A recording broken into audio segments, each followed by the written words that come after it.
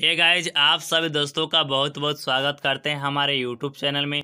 जैसा कि मैंने आप सब दोस्तों से कहा था कि टीचर लोगों से बात कर रही है, जैसे ही मस्ट भी वी आई क्वेश्चन रेडी कर देते हैं तो आपके सामने मैं वीडियो लेकर आ जाऊँगा। तो यह वीडियो है T D part two session उन्नीस से बाईस का। टॉप फाइव क्वेश्चन जो एग्ज़ाम के लिए बहुत ज़्यादा महत्वपूर्ण है दोस्तों।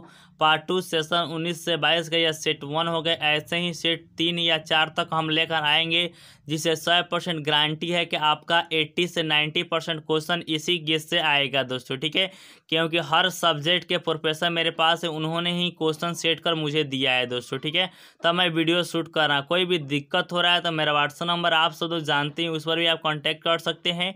नहीं तो नीचे कमेंट बॉक्स में पूछ सकते हैं, ठीक है? तो यहाँ पर मैं लेकर आ गया हूँ हिस्ट्री अनर्स पेपर तीन का, top five V V I question part two session उन्नीस से बाईस का, ये है सेट वन ठीक है?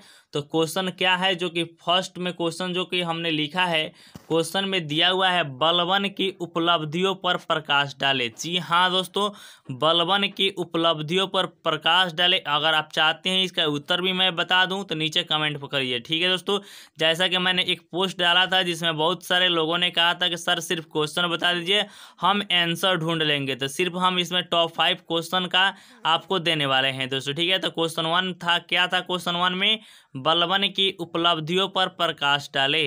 दो नंबर क्वेश्चन में दिया हुआ है, पंद्रह सौ छब्बीस ईस्वी में हुए पानीपत के युद्ध के कारणों तथा प्रभावों का वर्णन करना है, ठीक है दोस्तों? कौन सा क्वेश्चन है? पंद्रह सौ छब्बीस ईस्वी में हुए पानीपत के युद्ध के कारणों तथा प्रभावों का वर्णन कीजिए, ठीक है? तीन नंबर क्वेश्चन में जो दिया हुआ है दोस्तों, तीन नंबर क्वेश्चन जो कि मस्ट भी भी आई क्वेश्चन है दोस्तों मध्यकालीन भारतीय इतिहास के अध्ययन के साहित्य स्रोत का विवेचना करना है। क्या करना है? विवेचना करना है। मध्यकालीन भारतीय इतिहास के अध्ययन के साहित्य स्रोतों का विवेचना करना है। टॉप फोर नंबर क्वेश्चन है। औरंगज़ेब की धार्मिक। जी हाँ दोस्तों, औरंगज़ेब की धार्मिक नीति की विवेचना करना है। क्या करना है? औरंगज़ेब की धार्मिक नीति की विवेचना करना। अब आते हैं टॉप फाइव नंबर क्वेश्चन जो कि आपके सामने ये रहा। तो इसके बारे में दोस्तों टॉप फाइव में क्वेश्चन लिखे हैं। अकबर के दिन ए इलाही से आप क्या समझते हैं? व्याख्या कीजिए दोस्तों, जो कि आप क्वेश्चन पढ़े ही होंगे और जानते भी होंगे।